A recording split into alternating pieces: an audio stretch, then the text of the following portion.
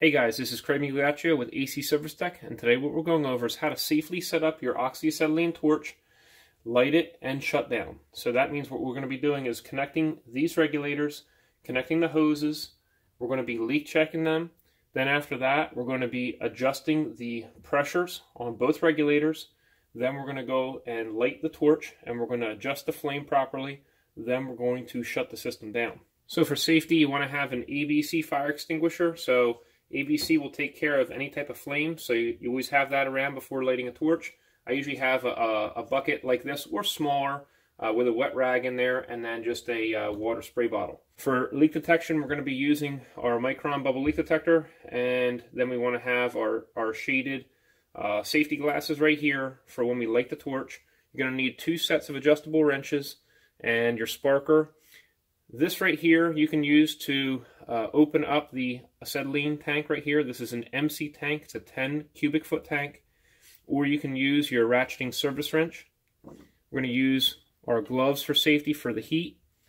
Also, some of these acetylene tanks have a handle instead of the, the key on the back, so you may not need this wrench or the ratcheting service wrench. As you can see right here with our oxygen tank, we have a handle up top there, and this is a uh, R tank, and it's a 20 cubic foot oxygen tank. For this, we're going to be using a Uniweld setup with a number two tip.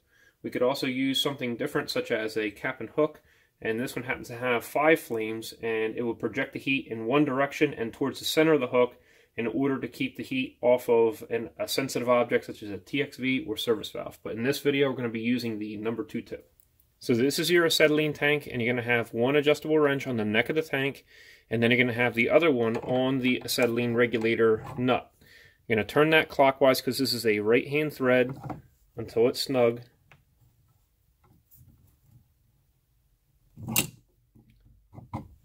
And then we're going to tighten the hose.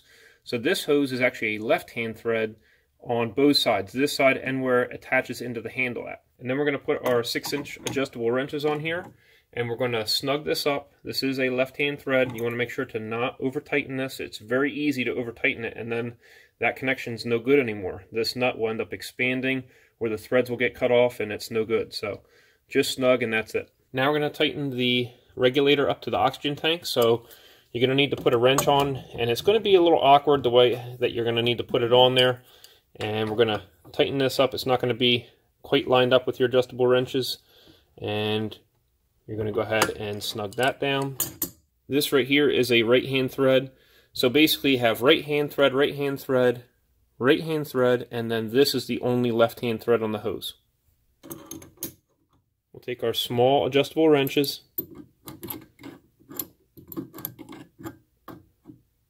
and you're just going to snug that up. Make sure to not over tighten these again because it'll be easy to strip this off.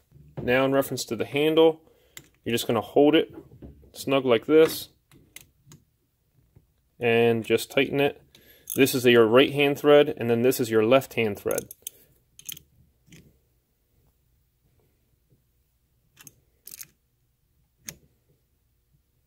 Make sure to not over tighten these as well. So in reference to the handle assembly with the hoses, this says oxygen and that's why you have your green hose attached and this says fuel and then you have your, your red hose attached. In reference to the handle, there's a rubber grommet on the inside, and then there is a rubber O-ring on the inside of here.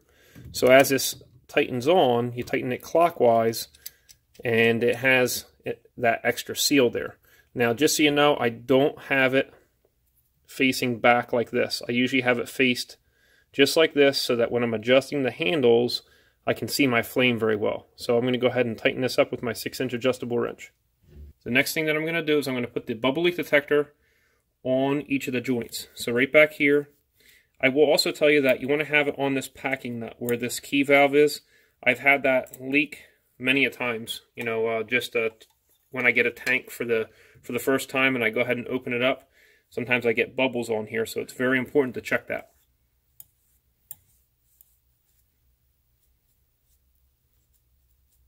If you use your hoses a lot and they, they tend to maybe start cracking here, it's time to get another set. So you could also check right here. This is a non-corrosive bubble leak detector, uh, but when you have new hoses, you shouldn't have any leaks right there. It would just be at that connection. Then we're going to come over to the oxygen. We want to make sure that we don't have any big leaks over here.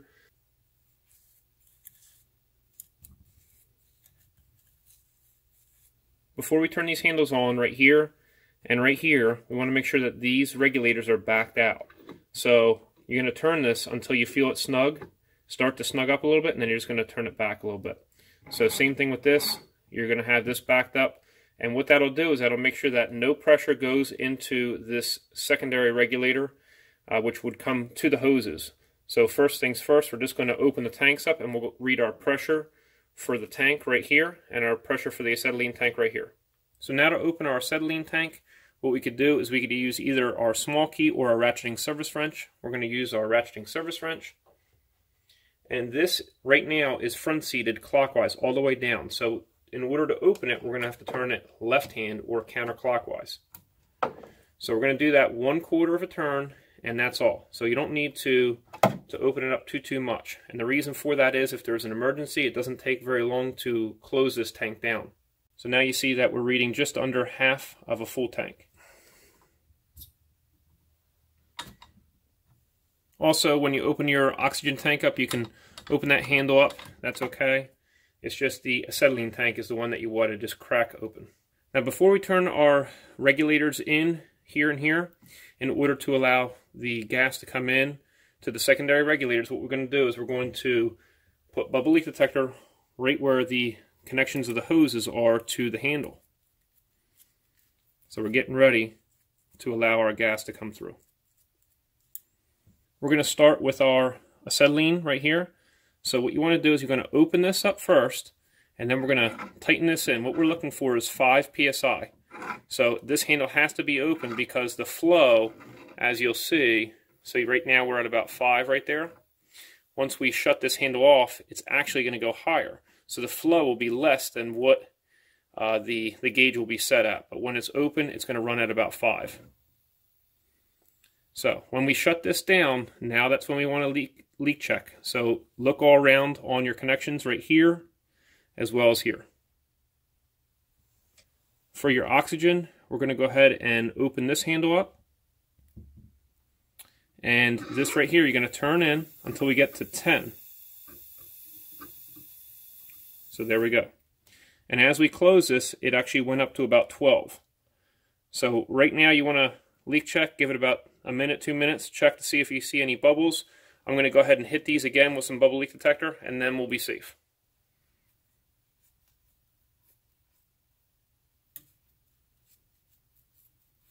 And now we're going to wait two minutes to check for bubbles. After the two minutes is over and you don't see any bubbles, you can go ahead and wipe these down. You want to make sure that you're not using dish detergent and water, but you want to use non-corrosive bubble leak detector. And the reason is because the chemicals in the in the dish detergent nowadays are a lot more corrosive than they used to be. And so you don't want that to eat away at your hose or your brass right here. So it's safest to just use your bubble leak detector, the same stuff you'd use on your refrigerant lines. Next, we're going to get our striker out, get that ready. As well, you want to go ahead and put your, your gloves on and your shield. Make sure you're wearing approved welding glasses uh, that are properly shaded, not just sunglasses. So make sure you're aware of where you point your tip at, especially not towards your, your hoses, such as these, because then you'd have a, a very, very uh, dangerous situation. And also remember that the heat comes out a far distance as well with this, so you could accidentally melt something that you're not meaning to. So now we're going to go ahead and turn this on.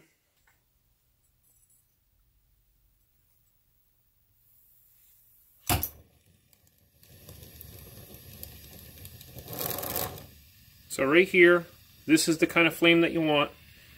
If you can see inside of this, there is three flames. So there's the large flame, the inner flame, and then even the one inside of that. So the one inside of that is the hottest, so you're going to be brazing with the, the second one. If you opened up the oxygen more, you're going to hear more of a hissing noise, and that's an oxidizing flame, so you don't want that. If you, you get it to the point where you don't have your third flame in the middle, that will be considered a neutral flame. So anything from there to a reducing flame, the reducing flame is better because you have better control and and you can put your your uh, tip as close as you need to for your copper in order to melt it. So you can back it up, you can bring it in, and it also wrap around the copper very well. All right, so now that we have this lit, what I'm going to do is I'm just going to slowly, slowly turn my acetylene and that will avoid making a large noise. So that's it. So then you go ahead and shut your, your handles down. Then we'll shut our oxygen tank.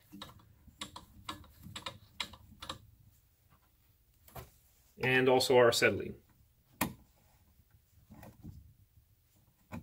You want to let your pressure out of your regulators. So we're just going to go ahead and do one at a time.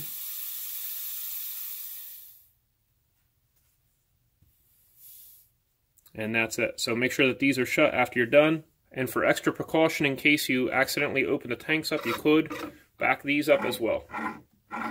If you're looking for this oxyacetylene setup by Uniweld, I have that linked down in the description section below, as well as this number two tip and also the Cap-N-Hook tip. If you want to help support this HVACR training channel, click here. If you want to subscribe, click here. And if you want to see another HVACR training video, click right here. Hope you enjoyed yourself, and we'll see you next time at AC Service Tech channel.